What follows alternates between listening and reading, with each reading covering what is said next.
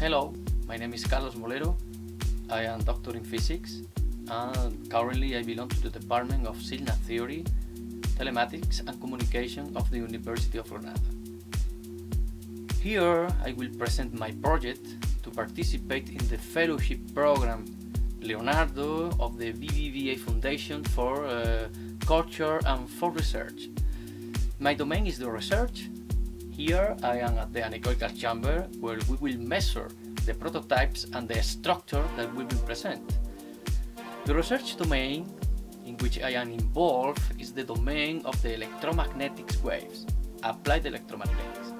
And basically what we do is to control, manipulate and tune electromagnetic waves through periodic structure or through metasurfaces. Metasurfaces in particular can be defined as a sort of antenna formed by uh, a two-dimensional distribution of emitters. A general example of metasurface antenna is the one in the picture. In our case, we will use 3D metasurfaces fabricated by modern 3D printing technique. For the sake of simplicity, we reconsider two kinds of emitters, black emitters and white emitters. A black emitter radiates a certain type of wave. A white emitter radiates a second type of wave, different from blacks. If we consider all together, we have the emission of several waves, each coming from a different emitter. The contribution of all the emitters results in a global radiation pattern characterizing the metasurface. If we change the position of blacks and white emitters, the global radiation pattern will be different. So we can construct a big amount of radiation patterns just by moving the position of the meters. For certain applications, we can use artificial intelligence just to obtain the radiation patterns that we are interested in.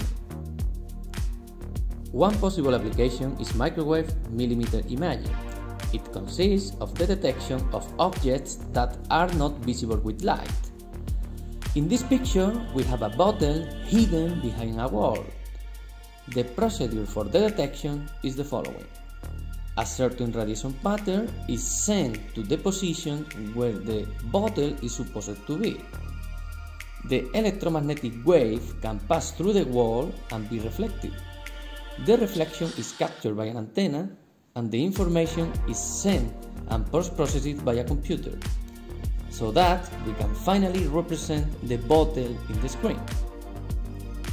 One radiation pattern is not enough, so the metasurface will be reconfigured to send different radiation patterns by the mechanism we have explained before. Artificial intelligence will be deciding the best radiation pattern in each case. So finally, the contribution of several radiation patterns will reconstruct the image of the hidden bottle. This kind of system can be employed for medical diagnosis, drugs weapon detection, sensing in zones with difficult access, material characterization. So this is my project. I hope you like it. I hope to be elected. Thank you very much. Bye.